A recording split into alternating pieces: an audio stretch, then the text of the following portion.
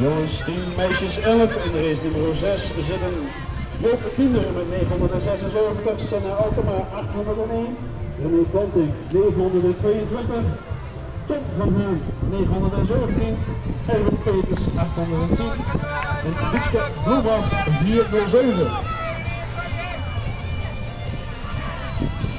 Zoals ik al zei, waarschijnlijk ook de favoriet vanavond hier op deze leeftijd was een Wietske Bloemhoff uit Bergen. Eerste positie, tweede positie 810, Erwin Peters. En de derde positie, dat Tom van Haan 917. Er komt nog een aanval van die vierde plaats naar die derde plek.